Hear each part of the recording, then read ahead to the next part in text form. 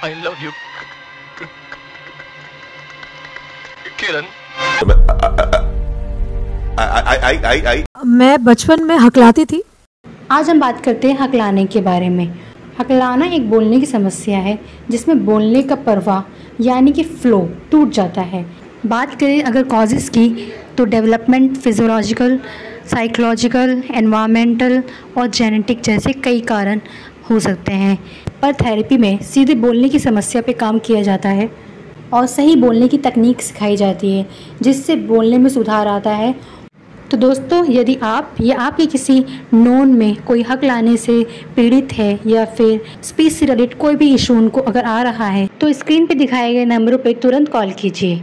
ये आपकी ज़िंदगी बदल सकता है। हिंदुस्तान में लाखों बच्चे ऐसे हैं लाखों मतलब बच्चे नहीं एडल्ट्स भी ऐसे हैं हाँ। उनको बहुत ऐसे शर्मिंदगी से गुजरना पड़ता है या उनको लोग ऐसे नीचे हाँ, गिरा के रखते हैं कि ये स्टैमर करता है। डरो मत किसी से यार अंडरस्टैंड करो प्रॉब्लम का है। उसका हर चीज़ का निवारण है भाई।